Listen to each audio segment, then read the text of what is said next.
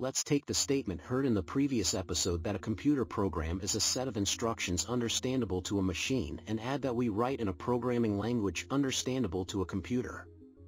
This is a useful way of thinking at this point, but the statement is not entirely true. In episode 6 of the series I will explain what I mean by this.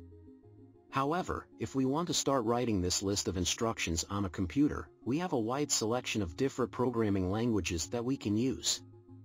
C, C++, C Sharp, Java, JavaScript, Ruby, Python, PHP, Swift. Let's talk about why there are so many of them, but again, we will not focus on any of these languages.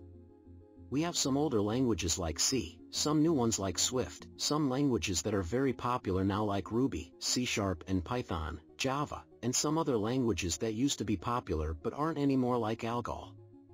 And you'll notice a few things.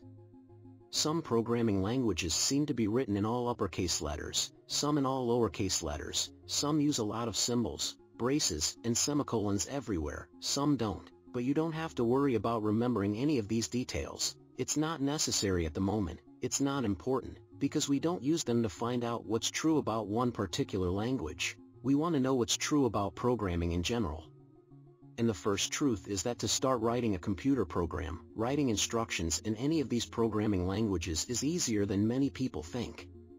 It is not necessary to download and install many special applications on your computer.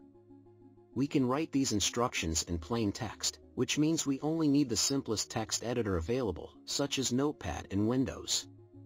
Programmers don't use word processors like Word because we don't need formatting.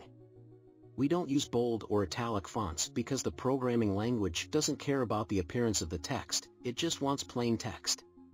Regardless of the programming language, there is another term you will use to refer to programming language instructions written in plain text.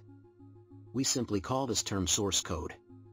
And when a developer tells you that they spent all day coding or all day writing code, they mean writing source code. Let me explain something.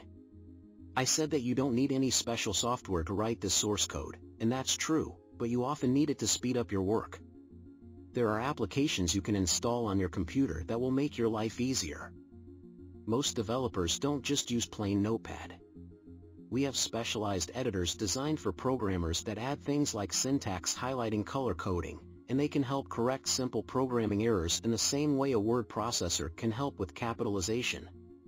There are many such editors available today, different for different languages and different operating systems. We'll dive deeper into this later in the course.